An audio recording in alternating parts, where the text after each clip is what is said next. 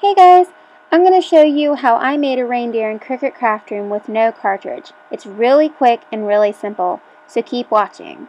You may notice that I changed the color of every layer. This is so I get an idea of what the layer will look like before I cut it out. So the first thing I'm going to do is take this egg shape and I'm going to flip it and size it down to what I think looks best. This is going to be the reindeer's head.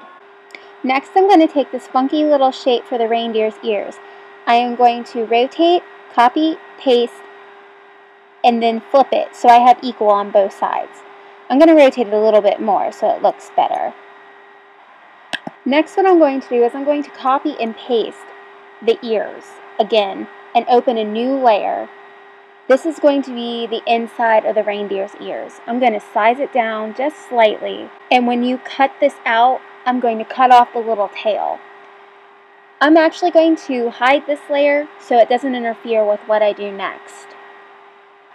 Now I'm going to make the reindeer's antlers.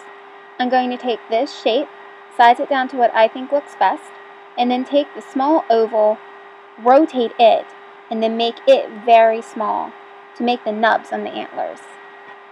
I'm going to copy and paste and then flip it so I have equal on both sides.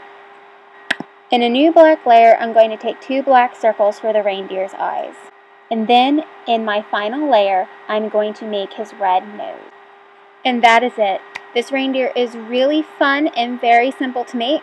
And everything I used, I used in Cricut font and basic shapes, which came free with a download of Cricut Craft Room. No cartridge, no problem.